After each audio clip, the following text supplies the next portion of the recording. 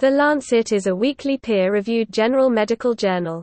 It is among the world's oldest, most prestigious, and best-known general medical journals. The journal was founded in 1823 by Thomas Wakley, an English surgeon who named it after the surgical instrument called a lancet, as well as after the architectural term, lancet arch, a window with a sharp pointed arch, to indicate the light of wisdom, or to let in light. The journal publishes original research articles, review articles, seminars, and reviews, editorials, book reviews, correspondence, as well as news features and case reports. The Lancet has been owned by Elsevier since 1991. Since 1995, the editor-in-chief is Richard Horton. The journal has editorial offices in London, New York, and Beijing.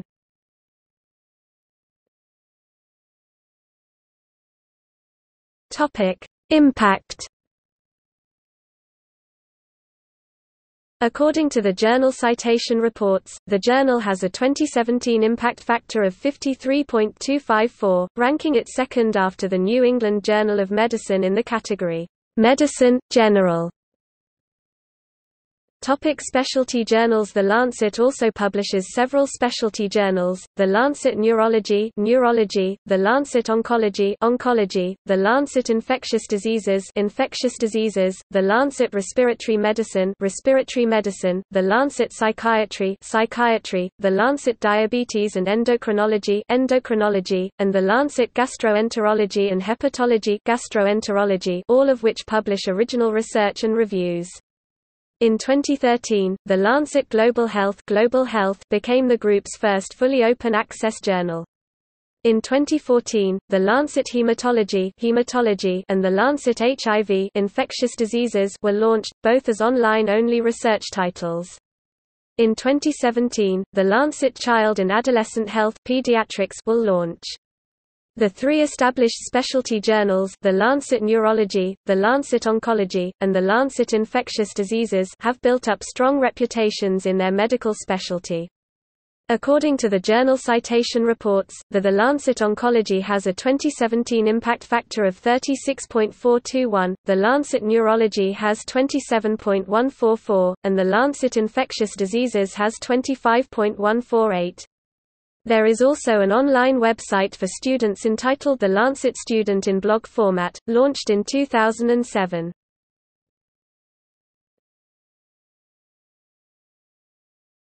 Topic: Volume renumbering.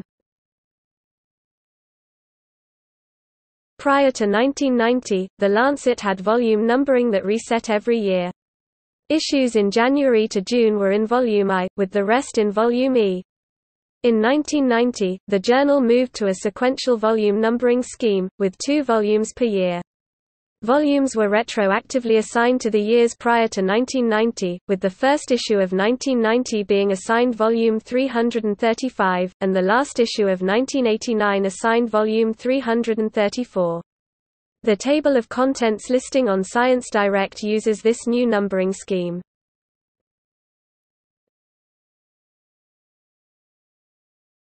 Topic: Controversies. The Lancet has taken a political stand on several important medical and non-medical issues. Recent examples include criticism of the World Health Organization WHO, rejection of the WHO's claims of the efficacy of homeopathy as a therapeutic option, disapproval during the Time Reed exhibitions a division of Reed Elsevier hosted arms industry fairs, a call in 2003 for tobacco to be made illegal, and a call for an independent investigation into the American bombing of a hospital in Afghanistan in 2015.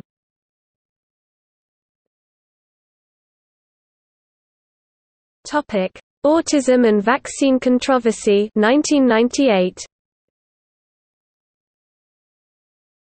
The Lancet was criticized after it published a paper in 1998 in which the authors suggested a link between the MMR vaccine and autism. In February 2004, The Lancet published a statement by 10 of the paper's 13 co-authors repudiating the possibility that MMR could cause autism. The editor-in-chief, Richard Horton, went on the record to say the paper had fatal conflicts of interest Because the study's lead author, Andrew Wakefield, had a serious conflict of interest that he had not declared to The Lancet. The journal completely retracted the paper on 2 February 2010. After Wakefield was found to have acted unethically in conducting the research, The Lancet's six editors, including the editor in chief, were also criticized in 2011 because they had covered up the Wakefield concocted fear of MMR with an avalanche of denials in 2004.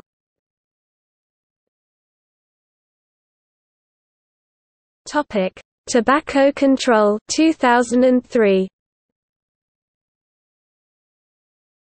A December 2003 editorial by the Journal, titled, How Do You Sleep at Night, Mr. Blair? Called for tobacco use to be completely banned in the UK. The Royal College of Physicians rejected their argument. John Britton, chairman of the college's Tobacco Advisory Group, praised the journal for discussing the health problem, but he concluded that a ban on tobacco would be a nightmare. Amanda Sandford, spokesperson for the anti-tobacco group Action on Smoking and Health, stated that criminalizing a behavior 26% of the population commit is ludicrous. She also said, We can't turn the clock back. If tobacco were banned we would have 13 million people desperately craving a drug that they would not be able to get. The deputy editor of The Lancet responded to the criticism by arguing that no other measures besides a total ban would likely be able to reduce tobacco use. The smokers' rights group Forest stated that the editorial gave them amusement and disbelief. Director Simon Clark called the journal fascist and argued that it is hypocritical to ban tobacco while allowing unhealthy junk foods, alcohol consumption, and participation in extreme sports. Health Secretary John Reid reiterated that his government is committed to helping people give up smoking. He added, despite the fact that this is a serious problem, it is a little bit extreme for us in Britain to start locking people up because they have an ounce of tobacco somewhere.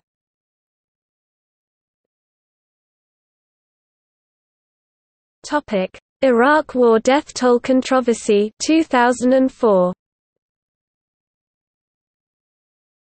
The Lancet also published a controversial estimate of the Iraq War's Iraqi death toll around 100,000 in 2004. In 2006, a follow-up study by the same team suggested that the violent death rate in Iraq was not only consistent with the earlier estimate, but had increased considerably in the intervening period see Lancet surveys of casualties of the Iraq War. The second survey estimated that there had been 654,965 excess Iraqi deaths as a consequence of the war. The 95% confidence interval was 392,979 to 942,636. 1,849 households that contained 12,801 people were surveyed. The estimates provided in the second article are much higher than those published in other surveys from the same time. Most notably, the Iraq Family Health Survey published in the New England Journal of Medicine surveyed 9,345 households across Iraq and estimated 151,000 deaths due to violence 95% uncertainty range, 104,000 to 223,000 over the same period covered in the second Lancet survey by Burnham et al. The NEJM article stated that the second Lancet survey considerably overestimated the number of violent deaths and said the Lancet results were highly improbable, given the internal and external consistency of the data and the much larger sample size and quality control measures taken in the implementation of the IFHS.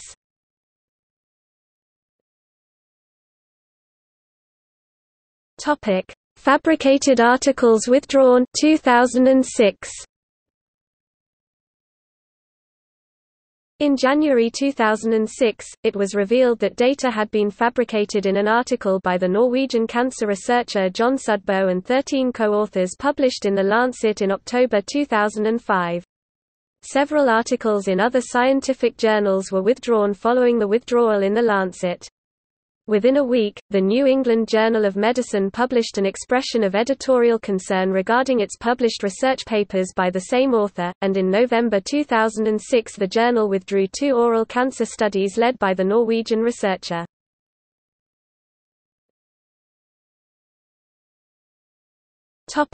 India and superbugs 2010. In August 2010, The Lancet Infectious Diseases published an article about an enzyme conferring multi-drug resistance properties in bacteria, which had previously been named New Delhi metallo-beta-lactamase or NDM1 based on the assumed origin of the mechanism. The article reported 44 clinical isolates of bacteria positive for NDM1 from Chennai, 26 from Haryana, 37 from 29 patients from the UK, and 73 from other sites in India, Pakistan, and Bangladesh. Of the 29 UK patients, 17 had a history of travel to India or Pakistan within one year, and 14 had been admitted to hospital in these countries. The authors of the article cited medical tourism to India for the spread of bacteria carrying NDM1, which the Indian government denied.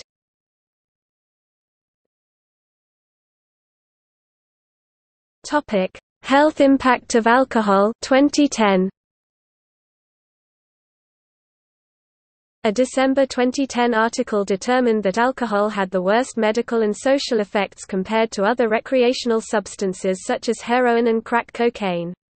The drugs marijuana, ecstasy, and LSD scored far lower in terms of related harms.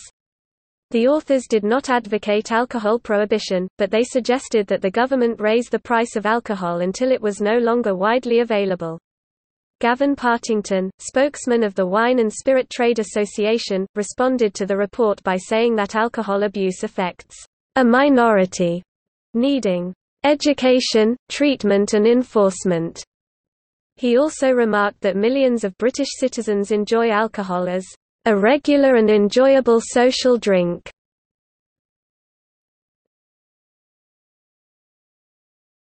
Topic: PACE study 2011. In 2011, The Lancet published a study by the UK-based PACE Trial Management Group, which reported success with graded exercise therapy and cognitive behavioral therapy for chronic fatigue syndrome. A follow-up study was published in Lancet Psychiatry in 2015. The studies attracted criticism from some patients and researchers, especially with regard to data analysis that was different from that described in the original protocol.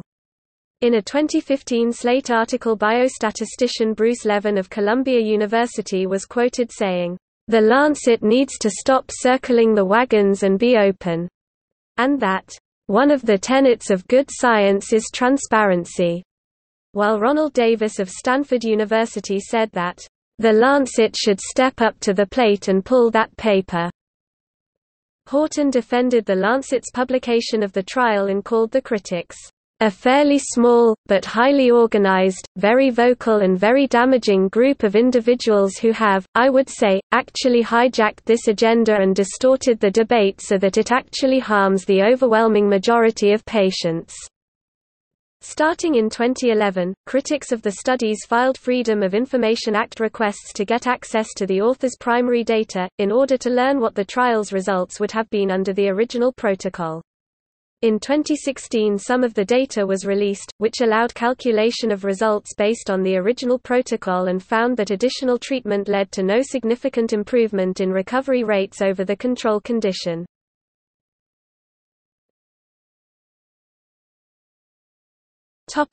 Open Letter for the People of Gaza 2014. In August 2014, The Lancet published an Open Letter for the People of Gaza, in the correspondence section. As reported in the Daily Telegraph, the letter condemned Israel in the strongest possible terms, but strikingly made no mention of Hamas atrocities. The authors of the letter include doctors who are apparently sympathetic to the views of David Duke, a white supremacist and former Ku Klux Klan Grand Wizard. One of the doctors responded by saying, I legitimately use my right of freedom of opinion and do not agree or value the politics of the government of Israel, nor of many others, including Jews in and out of Israel." A second one responded with, I didn't know who David Duke was, or that he was connected to the Ku Klux Klan. I am concerned that if there is any truth in the video, that Jews control the media, politics and banking, what on earth is going on? I was worried. The editor of The Lancet, Richard Horton, said, I have no plans to retract the letter, and I would not retract the letter even if it was found to be substantiated. However, Horton subsequently came to Israel's Rambam Hospital for a visit and said that he deeply, deeply regrets publishing the letter. Mark Pepys wrote, The failure of the Manduca et al. authors to disclose their extraordinary conflicts of interest, are the most serious, unprofessional and unethical errors. The transparent effort to conceal this vicious and substantially mendacious partisan political diatribe as an innocent humanitarian appeal has no place in any serious publication, let alone a professional medical journal, and would disgrace even the lowest of the gutter press. Quote, in addition, Pepys accuses Horton personally, saying that Horton's behavior in this case is consistent with his long-standing and wholly inappropriate use of the Lancet as a vehicle for his own extreme political views. It has greatly detracted from the former high standing of the journal. Quote, in response, Horton said, How can you separate politics and health? The two go hand in hand.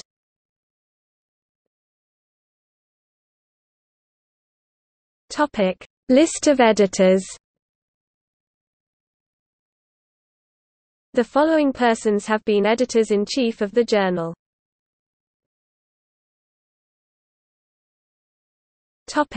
See also. List of medical journals